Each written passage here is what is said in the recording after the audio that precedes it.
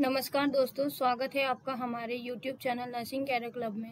आज हम आपके लिए लेकर आए हैं सी एस एस डी की इकाई पाँचवीं, जिसका नाम है मानव शरीर की संरचना और कार्य orientation of orientation to structure and function of the human body human body के बारे में जानना इसलिए ज़रूरी है क्योंकि जो सी डिपार्टमेंट होता है, वो एक हॉस्पिटल का मेन डिपार्टमेंट होता है। उसके बारे में हमें पता होना चाहिए कि मानव शरीर की संरचना किस तरीके से और वो किस तरीके से कार्य करता है। तो देखते हैं हम हमारा कार्य सूची पहला हम देखेंगे परिचय, जो हम स्लाइड नंबर आठ पर देखेंगे। दूसरा हम मानव शरीर की संरचना और कार्य देखेंगे, जो हम स्लाइड नंबर नौ पर देखेंगे। तीसरा मानव शरीर को पदानुक्रम, जो हम स्लाइड नंबर दस पर देखेंगे। चौथा मानव कोशिका, जो हम स्लाइड नंबर ग्यारह पर देखेंगे। पांचवा कोशिका की संरचना का चित्र, जो हम स्लाइड नंबर बारह पर देखेंगे। छठा कोशिका जो हम स्लाइड नंबर तेरह पर देखेंगे, सातवां मानव शरीर प्रणाली जो हम स्लाइड नंबर चौदह पर देखेंगे, आठवां मानव शरीर की संरचना जो हम स्लाइड नंबर पंद्रह से सोलह पर देखेंगे, नौवा सिर और गर्दन जो हम स्लाइड नंबर सत्रह से अठारह देख, पर देखेंगे, दसवां थॉरेक्स जो हम स्लाइड नंबर उन्नीस पर देखेंगे, ग्यारह पेट जो हम स्लाइड नंबर बीस से इक्कीस पर देखेंगे, बारह ऊपरी और निचले अंग जो हम स्लाइड नंबर बाईस पर देखेंगे, तेरह मानव शरीर के पीछे के अंग जो हम स्लाइड नंबर तेईस पर देखेंगे, चौदह मानव शरीर के विभिन्न तंत्र जो हम स्लाइड नंबर चौदह स्लाइड नंबर चौबीस पर देखेंगे, पंद्रह, मांसपेशी और कंकाल तंत्र जो हम स्लाइड नंबर पच्चीस पर देखेंगे, सोलह पाचन तंत्र जो हम स्लाइड नंबर छब्बीस पर देखेंगे,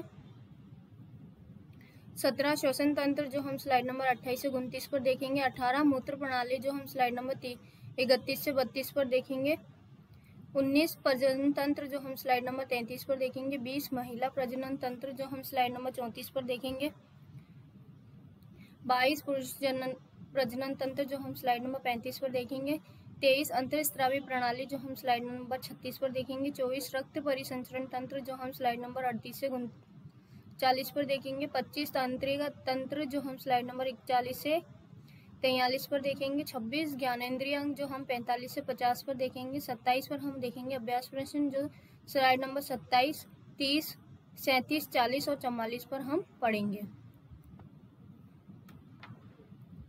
परिचय परिचय में हम देखते हैं, मानव शरीर कोशिका से शुरू होकर विभिन्न स्तरों पर संगठित होता है। कोशिकाओं को उत्तकों में व्यवस्थित किया जाता है और उत्तक अंगों का निर्माण करते हैं। अंगों का कंगाल और पेशी प्रणालियों जैसे अंग प्रणालियों में व्यवस्थित किया जाता है। कई लोगों ने मानव शरीर की तुलना में एक मशीन से की है। कुछ सामान्य मशीनों के बारे में सोचे, जैसे कि ड्रिल और वॉशिंग मशीन। प्रत्येक मशीन में कई भाग होते हैं और प्रत्येक भाग एक विशिष्ट कार्य करता है, फिर भी सभी भागों एक समग्र कार्य करने के लिए मिलकर काम करते हैं। इन सभी तरीकों से मानव शरीर एक मशीन की तरह है। वास्तव में ये पृथ्वी पर सबसे शानदार मशीन हो सकती है। मानव मशीन विभिन्न स्तरों पर व्यवस्थित होती है। कोशिका से शुरू होकर पूरे जीवन के साथ समाप्त होती है। संगठन के प्रत्येक उच्च स्तर पर जटिलता की एक बड़ी डिग्री होती है। जो ह्यूमन बॉडी होती है, वो सेल से स्मॉलेस्ट यूनिट हम, जो हमारे बॉडी के अंदर सेल सबसे स्मॉलेस्ट यूनिट होती है। सेल मिलकर टिश्यू बनाती है और टिश्यू मिलकर हमारे बॉडी के अंदर ऑर्गन्स का फॉर्मेशन करते हैं। और जो हमारी बॉडी है, वो एक मशीन की तरह वर्क करती है और इसमें बहुत सारे पार्ट्स होते हैं जो इंक्लूड होकर हमारी बॉडी को मेंटेन करते हैं। मानव शरीर की रचना और कार्य, व्यस्क मानव स्त्री तथा पुरुष के शरीर की संरचना को हम मॉर्फोलॉजी के नाम से जानते हैं और वैज्ञानिक उसी के बेसिस पर उसका अध्ययन करते हैं। मानव शरीर रचना विज्ञान या मानव शारीरिकी के अंतर्गत किया जाता है। मानव शरीर कई तंत्रों से बनकर बना होता है। तंत्र कई अंगों से मिलकर बने होते हैं और अंग भिन्न भिन्न प्रकार से उत्तकों से बने होते हैं उत्तक कोशिकाओं से बने होते हैं। जैसे सेल टिश्यू का फॉर्मेशन कर रही है टिश्यू ऑर्गन्स का फॉर्मेशन कर रहे हैं और ऑर्गन्स का एक सिस्टम का फॉर्मेशन कर रहे हैं, ठीक है? मानव का शरीर तंत्रिकाओं पर खड़ा है। विभिन्न प्रकार के उत्तकों से मिलकर अंगों का निर्माण हुआ है। शरीर तंत्र में मुख्य चार अवयव हैं, मस्तिष्क प्रमस्तिष्क मेरुदंड और तंत्रिकाओं का पुंज। इसके अलावा कई और तंत्र हैं, जैसे श्वसन तंत्र, पाचन तंत्र ज्ञानेन्द्रिय तंत्र और पाचन तंत्र आदि। मानव शरीर का पदानुक्रम क्या होता है? सेल, टिश्यू, ऑर्गन सिस्टम और ह्यूमन बॉडी। ठीक है? मानव कोशिकाएँ मानव शरीर का जायगोट नाम के एक एकल कोशिका से विकसित हुआ था, जो डिम्ब, मादा अंडाणु और शुक्राणु जन नर सेक्स सेल से, जो ह्यूमन बॉडी है, वो किसके थ्रू बनती है? एक ओवा और एक स्पम के फ्यूजन से, जो इम्प्लांटेशन होता है, उसके रिज़ल्ट में जो रिएक्शन होती है, ओवा और स्पम गैमेट्स मिलकर फ्यूजन करते हैं फ्यूज होने के बाद में उसका जो रिज़ल्ट आता है, उस रिज़ल्ट के रूप में हम जानते हैं कि एक मानव का या एक भ्रूण का निर्माण होता है, जिसी के बेस पे वो आगे बढ़कर एक ह्यूमन बॉडी बनती है और एक मानव की पूरी शरीर का निर्माण होता है।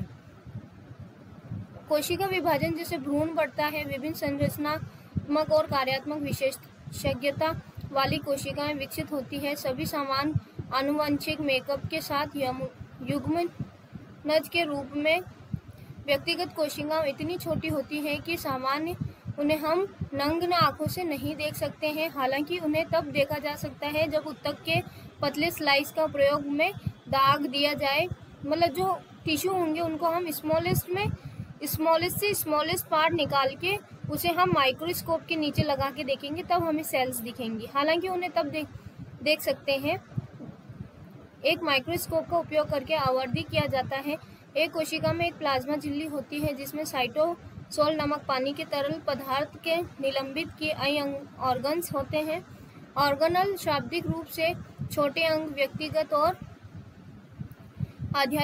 अत्यधिक विशिष्ट कार्य करते हैं और अक्सर साइटोसोल के भीतर अपनी झिल्ली में संलग्न होते हैं। इनमें शामिल है नाभिक माइटोकॉन्ड्रिया, राइबोसोम्स, प्लाज्मोडियम्स, प्ला, एंडोप्लाज्मिक रेटिकुलम, गोल्जी उपकरण, लाइजोसोम और साइटोस्केलेटन। ये क्या होते हैं? सेल के अंदर के पार्ट्स होते हैं या भाग होते हैं। कोशिका सामग्री नाभिक को छोड़कर साइटोप्लाज्म यानी साइटोसोल और अन्य अंग है। कोशिका की संरचना हम इस तरीके से देख सकते हैं। इसके अंदर सेंट्रोसोम है, सेंट्रियोल्स है, न्यूक्लियस है, न्यूक्लियोस है, ribosome mitochondria plasma membrane, cytoplasm lysosome Golgi, apparatus और rough endoplasmic reticulum with ribosomes, nucleus smooth endoplasmic reticulum. ये सारे इस सेल के पार्ट्स हैं, इस सेल के अंदर सब कुछ होते हैं और जो माइट्रोकॉन्ड्रिया होता है वो सेल को एनर्जी प्रोवाइड करता है। कोशिका मानव मशीन के सबसे बुनियादी हिस्सा कोशिका के है। जब तक औसतन व्यक्ति व्यस्कता तक पहुँचता है, तब तक उनमें से एक अद्भुत 100 ट्रिलियन कोशिकाएँ मानव शरीर में संरचना और कार्य की मूल इकाइयाँ हैं, क्योंकि वे सभी जीवित जीवों में है। प्रत्येक कोशिका बुनियादी जीवन क्रियाओं को अंजाम देती है और जो शरीर को जीवित रहने की अनुमति देती है। हमारी बॉडी के अंदर हंड्रेड ट्रिलियन से भी ज़्यादा कोशिकाएँ होती हैं और हमारे बॉडी के अंदर जो सेल होता है, उसके अंदर माइट्रोकोन्डिया होता है, जो सेल को एनर्जी प्रोवाइड करता है, उसी बेसिस पे हमारी बॉडी में भी एनर्जी का का लेवल बना रहता है। कई मानव कोशिका के रूप में और कार्य विशिष्ट होती है। प्रत्येक प्रकार की कोशिका एक विशिष्ट भूमिका निभाती है। उदाहरण के लिए तंत्रिका कोशिका में लंबे अनुमान होते हैं, जो उन्हें विद्युयुक्त संदेशों को अन्य कोशिकाओं तक ले जाने में मदद करते हैं। मांसपेशियों की कोशिकाओं में कई माइट्रोकॉन्ड्रिया होते हैं जो शरीर को स्थानांतरित करने के लिए आवश्यक ऊर्जा प्रदान करते हैं। फिर हम देखते हैं मानव शरीर प्रणाली। मानव शरीर प्रणाली के अंदर मनुष्य अन्य प्राणियों की तुलना में जटिल शरीर रचना और जीवन पद्धति के साथ एक जटिल प्राणी है। मानव शरीर में शरीर की कामकाज को सुचारू रूप से करने के और ये सुनिश्चित करने के लिए कि है, हमें अपने जीवन में स्वस्थ रहे। में अंग प्रणाली शामिल होती है। हमारे शरीर में विशिष्ट कार्यों को करने के लिए विशिष्ट जैविक प्रणाली है। मानव शरीर में पाए गए शीर्ष चार तत्व है। मतलब ह्यूमन बॉडी के अंदर कौन कौन से पार्टिकल्स इंक्लूड किए गए हैं, जो ऑक्सीजन है हाइड्रोजन कार्बन डाई और नाइट्रोजन सोचने से पहले हम सभी ऑक्सीजन हाइड्रोजन और नाइट्रोजन परमाणु से दूर जाना चाहेंगे। याद रखें कि ऑक्सीजन अणु मुख्यतः हमारे शरीर में एच का काम करता है। वास्तव में मानव शरीर का आधा से भी आधा शरीर जो है वो पानी से बना हुआ है। मतलब 50 टू 70 परसेंट ह्यूमन बॉडी के अंदर क्या होता है? वाटर होता है। मानव शरीर की संरचना और विभिन्न अंगों के बीच एक संबंध में शरीर की रचना, विज्ञान कहा जाता है, इसे मोटे तौर पर तीन क्षेत्रों में बांटा गया है। सिर और गर्दन, छाती और पेट, ऊपरी और निचले अंगों में। सिर और गर्दन का क्षेत्र मानव शरीर, हमारे शरीर को सर्वोच्च हिस्सा है। इस हिस्से में मस्तिष्क होता है, आँख, कान, नाक, मुँह, भोजन नली के साथ और श्वास नली के साथ या सांस की नली के रूप में अंगों का शामिल होना है। हमारे शरीर के मध्य भाग में छाती, ये दिल और फेफड़ों के करीब होता है। इसके अलावा पेट और पेट के जो अंग है, वो क्या है? जिग्र, अग्नाशय, आते, गुर्दे और प्रजनन अंग भी शामिल है। फिर ऊपरी और निचले अंग क्या होते हैं? मानव शरीर के अंदर ऊपरी हिस्से में हाथ और निचले हिस्से में पैरों, पैर होते हैं। शरीर के आकार और शरीर की संरचना विशेष उत्तकों से बने हैं, जिन्हें हड्डियाँ और मांसपेशियों कहा जाता है। इसकी मदद से ही शरीर की संरचना तैयार होती है। हड्डियाँ और मांसपेशियों की वजह से से सभी अंग आपस में अपने अपने स्थान को बनाए रखते हैं। मानव शरीर के आंतरिक अंग बहुत ही नाजुक होते हैं। उन्हें भार, झटके से और चोटों से बचाने के लिए अंग के ऊपर हड्डी की संरचना बनी होती है। उदाहरण के तौर पर आप अगर देखें तो मानव हृदय और फेफड़े भारी चोटों से बचाने के लिए वो पंसली नामक पिंजरे के साथ घिरा होता है। सिर और गर्दन। मानव शरीर में सिर के हिस्से में मस्तिष्क, आँखों, कान, नाक और मुँह शामिल है। इन अंगों में से प्रत्येक का अपना अपना विशिष्ट कार्य है, जैसे कि हमारा कान का काम है सुनना, नाक का काम है सूंघना आँखों का काम है देखना। सिर का भारी हिस्सा बेहद ही कठोर होता है। ये एक प्रकार की हड्डी तथा जिसे खोपड़ी या कपाल भी कहा जाता है। खोपड़ी शरीर के मस्तिष्क को भारी चोटों से बचाती है, जो हमारी खोपड़ी होती है, वो ब्रेन को प्रोटेक्ट करके रखती है, जिसे हम स्कल बोलते हैं। शरीर के सभी अंगों की गतिविधियाँ मस्तिष्क द्वारा नियंत्रित की जाती हैं, जैसे कि श्वसन, पाचन, धड़कन, रक्त संचरण आदि। शरीर के इन गतिविधियों को मुख्य रूप से संवेदी संचालन और विशेष इंद्रियों के तौर पर जाना जाता है। संवेदी कार्यों में स्पर्श, दर्द का एहसास होना जबकि शरीर के संचालन को नियमित रूप से करने के लिए हाथ, पैरों और मांसपेशियों का हिलना ढुलना भी इंक्लूड किया गया है। विशेष इंद्रियों संबंधित कार्यों में देखना, सुनना, संवाद और गंध महसूस करना शामिल किया गया है। दिमाग की नसें शरीर के विभिन्न अंगों से जुड़ी रहती है, जो अक्सर हमारे ब्रेन तक मैसेज को ट्रांसफ़र करती है। फिर आते हैं हम हमारे थॉरक्स पे। थॉरक्स के अंदर क्या इंक्लूड किया गया गर्दन क्षेत्र का विस्तार छाती या वक्ष होता है। छाती पसली नामक एक हड्डी का फ्रेम बना के देती है, जो हमारी छाती उस पर बोनी स्ट्रक्चर जो होता है, वो एक फ्रेम बनाकर हमें देता है जिन्हें हम रिप्स कहते हैं। रिप्स दोनों फेफड़ों के करीब होती है और वो सांस लेने में हमारी मदद भी करती है। दिल ज़्यादातर मानव शरीर के बाईं ओर मौजूद रहता है या दोनों फेफड़ों के बीच में रहता है। दिल मांसपेशियों से बना होता है और यही पूरे शरीर को, रक्त को पंप करता है। जो हमारा हार्ट होता है, वो पूरी बॉडी के अंदर ब्लड को पंप करने का काम करता है। धमनी प्रणाली के माध्यम से दिल की शरीर तक रक्त की आपूर्ति होती है। शरीरी, शिराप्रक प्रणाली से मानव शरीर से विभिन्न भागों तक रक्त एकत्र करा जाता है। जो हमारी धमनियाँ होती है, वो शरीर तक ब्लड को लेके जाती है। और जो हमारी शीरा होती है, वो क्या करती है? हमारे बॉडी से ब्लड को लाकर हार्ट तक पहुंचाती है। फिर आता है पेट पेट छाती के नीचे पेट होता है। पेट में आमाशय होता है, जो खाए भोजन को पचाने में मदद करता है। अमाशय हमारे बॉडी के अंदर फ़ूड को क्या करता है? डाइजेस्ट करने का काम करता है। पेट शरीर के अन्य महत्वपूर्ण अंगों, जैसे कि लीवर से जुड़ा होता है, जो भोजन के पाचन में मददगार है। एंजाइम रिलीज़ करता है। पेट की लंबी ट्यूब जैसी संरचनाओं से जुड़ी होती है, जिसे आंत्र कहा जाता है, जिनकी मदद से भोजन को पाचन और पोषक तत्वों में अवशोषण में मदद मिलती है। अंत में भोजन पचाने के बाद गुदा के माध्यम से अपशिष्ट या उत्सर्जन पदार्थ को बाहर कर दिया जाता है। पेट के निचले हिस्से में गुर्दों की एक जोड़ी होती है, मौजूद रहती है और ये शरीर का एक महत्वपूर्ण अंग है जो शरीर के अंदर अपशिष्ट पदार्थों का स्त्राव करने में मदद करता है। पेट का निचला क्षेत्र हड्डियों के ढांचे से बना होता है, जिन्हें हम कुलक या पेल्विक्स कहते हैं। इस क्षेत्र में भी प्रजनन अंग या जनन अंग होते हैं, जो पुरुषों और महिलाओं के अलग अलग प्रकार के होते हैं। पुरुष प्रजनन अंगों में लिंग व अंडकोश होते हैं, जबकि महिला प्रजनन अंगों में अंडाशय, गर्भाशय और योनि शामिल होती है। पेट, जिग्र और इसके ऊपरी हिस्से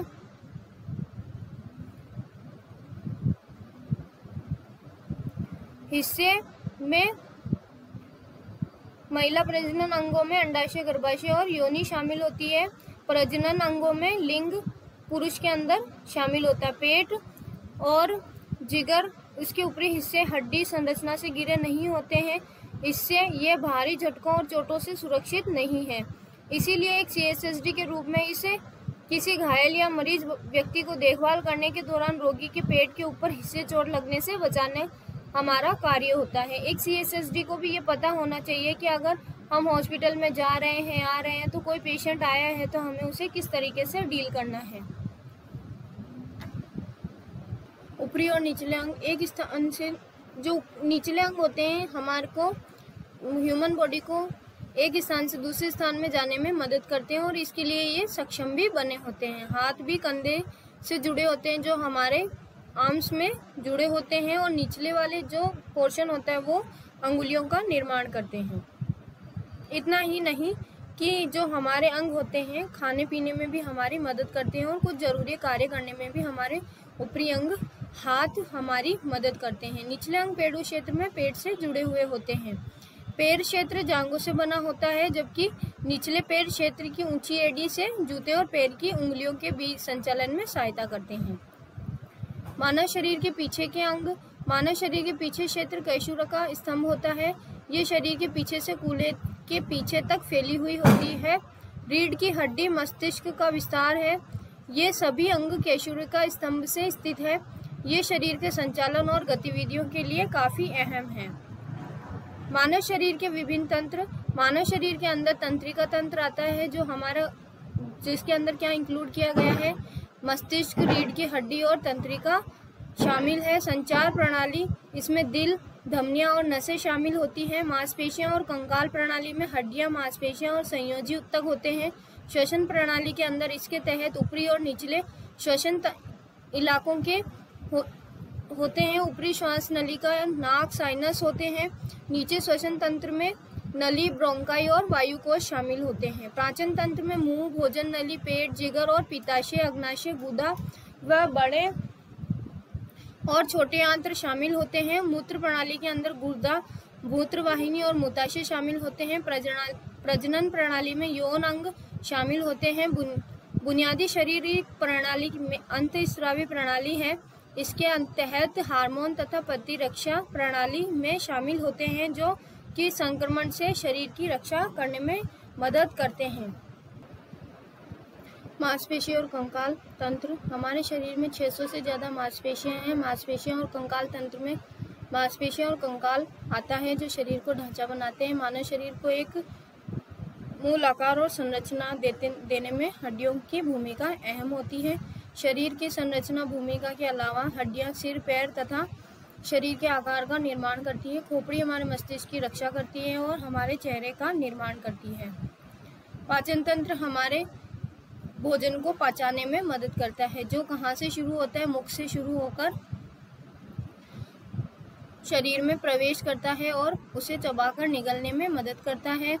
ये भोजन पाइप का माध्यम से भोजन पेट और आंतों में प्रवेश करता है। यहाँ खाद्य पदार्थ या एंजाइमों की मदद से छोटी इकाइयों में टूटकर जाता है और एंजाइम भोजन को पचाने के लिए आवश्यक होते हैं। ये एंजाइम लाड़ ग्रंथियाँ, यकृत, अग्नाशय और पीताशय द्वारा उत्पादित किए जाते हैं। रक्त भोजन से पोषक तत्वों को अवशोषित कर लेता है और उन्हें ऊर्जा के उत्पादन के लिए विभिन्न अंगों में ले लिया जाता है या विभिन्न अंगों तक ले जाया जाता है। पोषक तत्वों के अवशोषित करने के बाद, पचे हुए भोजन के बाद अवशिष्ट शरीर से उत्सर्जित हो जाया करता है। अभ्यास प्रश्न एक, मुँह। पाचन तंत्र के मुख, प्रमुख अंग है मुख, ग्रास नली, छोटी आंत और सभी। सही उत्तर है सभी। श्वसन तंत्र, श्वसन प्रणाली, श्वास नली से और फेफड़ों के बीच केंद्रीय इकाइयों के रूप में शामिल होती है। सांस लेने के लिए हवा को ज़्यादातर नाक के माध्यम से शरीर में ले लिया जाता है। और ये हवा पाइप में प्रवेश करती है। इसे श्वास नली के रूप में जाना जाता है। श्वास नली से हवा फेफड़ों में प्रवेश करती है और हवा से ऑक्सीजन फेफड़ों में जाती है। फेफड़ों से यह रक्त की ऑक्सीजन लेकर विभिन्न अंगों में प्रवाह करता है। प्रत्येक शरीर के अंगों में ऊर्जा रिलीज़ करते हैं, करने के लिए ऑक्सीजन का प्रयोग होता है। श्वास तंत्र, यह ऊर्जा शरीर के विभिन्न कार्यों के बाहर लाने के लिए ऊर्जा का प्रयोग किया जाता है। कार्बन डाइऑक्साइड फेफड़ों में रक्त द्वारा वापस आता है और फेफड़ों से हवा में कार्बन डाइऑक्साइड को सांस द्वारा उत्सर्जित कर दिया जाता है। सांस के ज़रिए ऑक्सीजन ग्रहण कर शरीर के लिए ऊर्जा प्राप्त करना तथा फेफड़ों के ज़रिए और कार्बन डाइऑक्साइड को उत्सर्जित करने के लिए सांस बाहरी किए जाने के लिए पूरी प्रक्रियाओं का श्वसन प्रक्रिया कहलाती है। जो हमारे बॉडी के अंदर श्वसन तंत्र है, वो हमारे बॉडी में कार्बन डाइऑक्साइड को बाहर निकालते हैं और ऑक्सीजन को ऑक्सीजन को हमारे बॉडी के अंदर लेकर ब्लड के थ्रू पूरी बॉडी में डिस्ट्रीब्यूट किया जाता है। अभ्यास प्रश्न दो, शरीर के किस अंग द्वारा ऑक्सीजन ली और कार्बन डाइऑक्साइड बाहर निकाली जाती है? अ, फेफड़ों द्वारा, ब, अमाशय द्वारा, स, ग्रंथियों द्वारा, द, कान द्वारा। सही उत्तर है फेफड़ों द्वारा। मूत्र प्रणाली मूत्र प्रणाली में गुर्दे मूत्र मार्ग मूत्र वाहिनी और मूत्राशय होते हैं। शरीर के अंग के लिए पोषक तत्वों और ऊर्जा के उत्पादन के लिए ऑक्सीजन का उपयोग करते हैं और इसके बाद अमोनिया और यूरिया के रूप में अवशिष्ट उत्पादों के, का उत्पादन करते हैं। इस अपशिष्ट उत्पादों को रक्त द्वारा गुर्दे तक लाया जाता है। अपशिष्ट उत्पाद खून से फ़िल्टर होने के बाद और मूत्र के रूप में शरीर से बाहर उत्सर्जित होते हैं। यूरिन के यूरिन में हमारे शरीर का अतिरिक्त पानी शामिल होता है, जो हमारे मूत्र प्रणाली है यूरिनरी सिस्टम है, वो क्या करते हैं बॉडी से एक्सक्रीटा को बाहर निकालते हैं, जो अपने बॉडी के अंदर होते हैं, खून को फ़िल्टर करते हैं ब्लड को फ़िल्टर करने में काम करते हैं। और जो ब्लड फिल्ट्रेशन के बाद जो भी अपशिष्ट बच जाता है, उसे बाहर निकालते हैं ब्लैडर के थ्रू मूत्र प्रणाली में गुर्दे प्रजनन तंत्र प्रजनन प्रणाली में यौन अंगों शामिल होते हैं। पुरुष और महिलाओं में दो अलग अलग प्रकार के प्रजनन प्रणाली है। पुरुष प्रजनन प्रणाली में अंडकोश और पुरुष यौन अंग शामिल है। यौन अंग जिसे लिंग कहा जाता है, जो शामिल है। अंडकोश में एक तरल पदार्थ बनता है, जिसे शुक्राणु कहते हैं, जो निषेचन का कार्य करते हैं। ये तरल पदार्थ लिंग के माध्यम से बाहर निकलता है। महिला प्रजनन प्रणाली प्रांडाशय गर्भाशय और महिला यौन अंग योनि होता है, जब अंडाशय शुक्राणु अंडे के साथ संपर्क में आते हैं, जब ओवा और स्पम फ्यूज करते हैं तो क्या होता है? फर्टिलाइजेशन होता है और उससे फर्टिलाइजेशन से क्या होता है? भ्रूण का विकास होता है। भ्रूण मादा मानव शरीर के गर्भाशय में विकसित होता है और फिर उसे बच्चे को जन्म दिया जाता है। महिला प्रजनन तंत्र, महिला प्रजनन तंत्र में शरीर के वे सभी अंग आते हैं जो बच्चे के जन्म और विकास में मदद करते हैं। इन्हें दो भागों पर गौर कर सकते हैं। हम आपके शरीर में लाखों संख्याओं में अंडे होते हैं, जो एक बच्चे में तब्दील होता है। बच्चे के जन्म के साथ ही आपका पुनर्जन्म होता है। आपके शरीर के अंदर सही स्थान पर अंडे का साथ स्पम का मिलन से ही बच्चे का विकास प्रारंभ होता है। पुरुष प्रजनन तंत्र मानव नर प्रजनन प्रणाली में निम्नलिखित अंग होते हैं। वृषण, अंडकोश, अधिवृषण, शुक्राणु वाहिनी, शुक्राणु पुटिका, प्रोस्टेट ग्रंथि और लिंग वृषण अंडे के आकार वाला अंग है, जो पुरुष के उदर गुहा के बाहर होता है। पुरुष में एक जोड़ी योनि, जोड़ी यानी दो वृषण होते हैं। वृषण पुरुषों का प्राथमिक प्रजनन अंग होता है। अंतर स्त्रावी प्रणाली, बुनियादी शरीर प्रणाली जैसे अंतर स्त्रावी प्रणाली और प्रतिरक्षा प्रणाली के रूप में समर्थित है।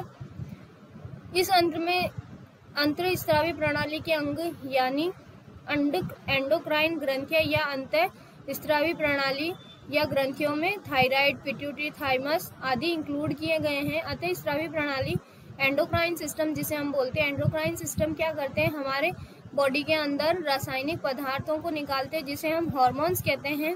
केमिकल प्रोडक्ट केमिकल पदार्थ होते हैं, जिन्हें हम हार्मोन कह सकते हैं। ये हार्मोन शरीर की प्रक्रियाओं, प्रजनन और पाचन तंत्र में मदद करते हैं। प्रजनन और पाचन में मदद करते हैं। अंतरस्त्रावी ग्रंथियों से निम्न निकले हुए हार्मोन हमारे शरीर के लिए बहुत ज़रूरी होते हैं। अभ्यास प्रश्न तीन अंतस्त्रावी तंत्र के मुख्य अंग है।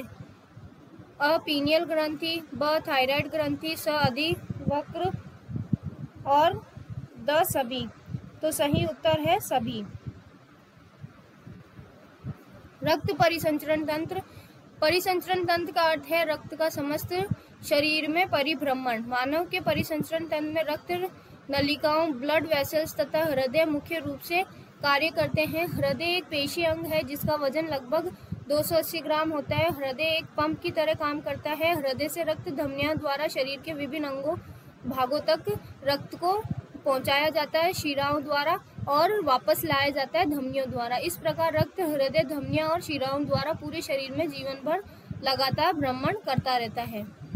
रक्त परिसंचरण तंत्र में और हम देख सकते हैं कि शारीरिक, शरीर के रक्त परिसंचरण तंत्र में रक्त, हृदय एवं रक्त वाहिनियों का समावेश होता है। हृदय की पंपिंग क्रिया द्वारा रक्त धमनियों एवं धमनिकाओं से होता हुआ संपूर्ण शरीर की कोशिकाओं में पहुँचता है तथा उनमें ऑक्सीजन, आहार, पानी एवं अन्य सभी आवश्यक पदार्थ पहुंचाता है और वहाँ से अशुद्ध रक्त कोशिकाओं तथा शिराओं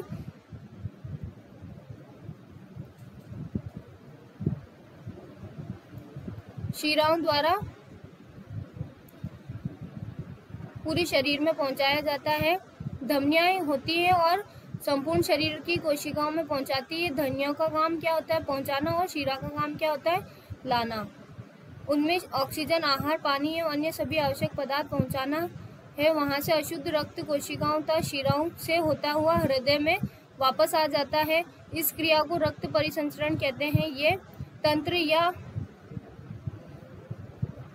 वाहिका तंत्र अंगों का वे समुच्चय है, जो शरीर की कोशिकाओं के मध्य पोषक तत्वों का परिसंचरण तंत्र, तत्वों का यातायात करता है। मानव एवं अन्य केशरू का प्राणियों प्राणियों और परिसंचरण तंत्र बंद परिसंचरण तंत्र होते हैं, अर्थात रक्त कभी भी धमनियों, शिराओं, कोशिकाओं के जाल से बाहर नहीं बह सकता। अभ्यास प्रश्न चार मानव हृदय में कुल कितने चैम्बर पाए जाते हैं? एक, दो, तीन, चार। सही उत्तर है चार। तंत्रिका तंत्र, जिस तंत्र द्वारा विभिन्न अंगों का नियंत्रण अंगों का वातावरण में सामान्य जैसे स्थापित होता है, उसे तंत्रिका तंत्र कहते हैं। तंत्रिका तंत्र में मस्तिष्क मेरुरज्जु और इनसे निकलने वाली तंत्रिकाओं की गणना की जाती है। तंत्रिका कोशिका, तंत्रिका तंत्र और रचनात्मक एवं क्रियात्मक इकाई है। मनुष्य में बारह जोड़ी कपाली तंत्रिकाएँ एवं इकतीस जोड़ी मेरुरज्जु तंत्रिकाएँ होती हैं। स्वयत यह स्वचालित तंत्रिका तंत्र, मस्तिष्क एवं कुछ मेरुरज्जु तंत्रिकाओं का बना होता है। यह शरीर के सभी आंतरिक अंगों व रक्त वाहिनियों को तंत्रिकाओं की आपूर्ति करता है। तंत्रिका तंत्र आंतरिक अंगों सहित मस्तिष्क और शरीर के बाकी हिस्सों के बीच संकेतों को प्रसारित करता है। इस तरह तंत्रिका तंत्र की गतिविधि चलने, सांस लेने, देखने और सोचने और बहुत कुछ करने की क्षमता को नियंत्रित करती है।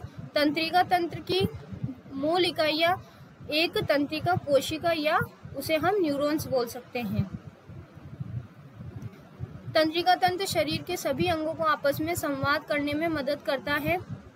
ये शरीर के बाहर और अंदर दोनों तरह के परिवर्तनों पर भी प्रतिक्रिया करता है। संदेश, भोजन और प्राप्त करने के लिए तंत्रिका तंत्र विद्युत और रासायनिक दोनों साधनों का उपयोग करता है। मस्तिष्क के निम्न तीन भाग होते हैं, अग्र मस्तिष्क, मध्य मस्तिष्क और पश्चिम मस्तिष्क। ये तीनों समूह मिलकर एक जटिल संरचना का निर्माण करते हैं, जिसे लिम्बिक लोब या लिम्बिक तंत्र कहते हैं।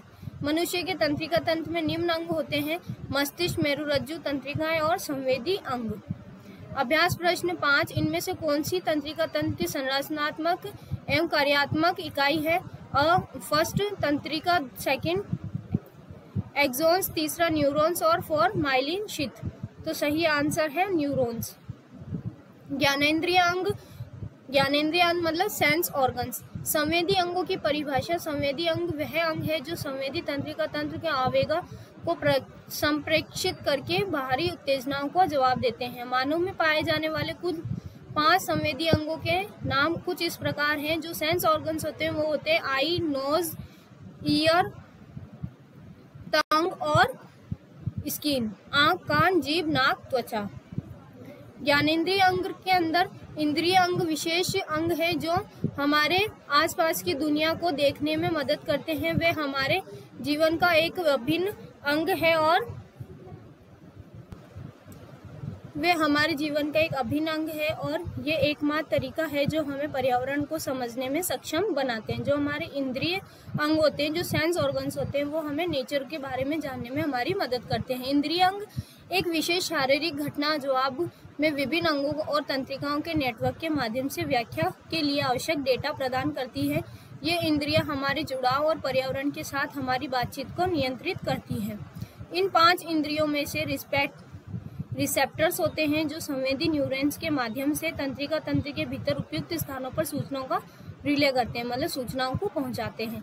रिसेप्टर्स को दो भागों में वर्गीकृत किया गया है, सामान्य और विशेष रिसेप्टर्स पहला पूरे शरीर में मौजूद होते हैं, जबकि बाद वाले कीमो रिसेप्टर्स और फ़ोटो रिसेप्टर्स और मैकेनो रिसेप्टर्स शामिल होते हैं। ज्ञानेन्द्रिय अंगों का हम चित्र के द्वारा समझेंगे जो हमारे ज्ञानेन्द्रिय अंग होते हैं, वो क्या होते हैं? आँख, कान, जीभ, नाक और त्वचा मतलब सेंस ऑर्गन हमें सेंस का मतलब हमारे आसपास क्या हो रहा है, उसके बारे में हमें जानकारी देते हैं। हमें अवेयर कराते हैं। हमारे पाँच पास पाँच इंद्रिय हैं जो मस्तिष्क को संवेदी जानकारी प्राप्त और रिले करने में हमें मदद करते हैं। ये इंद्रिय एक जीव का धारणा के लिए महत्वपूर्ण जानकारी प्रदान करती है। उन्हें द्वारा प्रदान की जाने वाली विभिन्न इंद्रियों और इंद्रियों का उल्लेख नीचे किया गया है। ये हमारे शरीर के दृश्य संवेदी अंग है। ये प्रकाश छवियों को प्रति संवेदनशील होते हैं। हमारे शरीर में मौजूद मेलेनिन की मात्रा के आधार पर हमें आँखों का रंग अलग अलग होता है। ये प्रकाश छवियों को प्रदान, पता लगाने में हमें मदद करते हैं और केंद्रीय कर दृष्टि की भावना में हमें मदद करते हैं। आँख हमारे शरीर का दृश्य संवेदी अंग है। ये प्रकाश छवियों को प्रति संवेदनशील होती है। हमारे शरीर में मौजूद मेलेनिन की मात्रा के आधार पर हमें रंग की अलग अलग छवि प्राप्त करने में हमारी मदद करते हैं। कान हमारे शरीर का श्रवण इंद्रिय अंग है। कान हमें सुनने में मदद करते हैं। जीभ हमें टेस्ट के बारे में पता लगवाती है और जो हमारा श्वसन तंत्र है, हवा कंपन तथा पता लगाते हैं कि हमारे पास आवाज़ सुनने में हमें मदद कर रहे हैं। जीभ विभिन्न संवादों और स्वादों को समझने में हमारी मदद करती है। जीभ पर पीली, पिपली के बीच स्वाद कलिकाओं का जो टेस्ट वर्ड्स होते हैं वो प्रेजेंट होते हैं। नाक हमें स्मेल करने में हेल्प करता है और त्वचा हमारे शरीर के सबसे बड़ा अंग होता है जो हमें स्पर्श की भावनाओं को से रिलेटेड होता है। हमें कोई टच करता है तो हमें त्वचा के थ्रू ही पता चलता है हमारे ब्रेन तक, वहाँ तक मैसेज को पहुँचाया जाता है। Thank you. आपको हमारा वीडियो पसंद आया होगा प्लीज़ लाइक शेयर और सब्सक्राइब करें।